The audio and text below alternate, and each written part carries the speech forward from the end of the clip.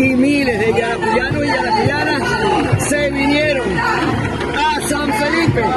Y así como en San Felipe, en esta Plaza Bolívar, también en los distintos espacios de nuestro estado de Yaracuy, para celebrar el triunfo de nuestro presidente Nicolás Maduro. De la paz.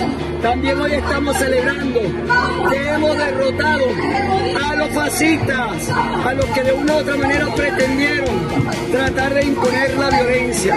Y en unión cívico, militar, policial, aquí tenemos garantizada la paz como el bien más sagrado para seguir avanzando en la prosperidad económica, en la prosperidad social. Triunfo, felicidad,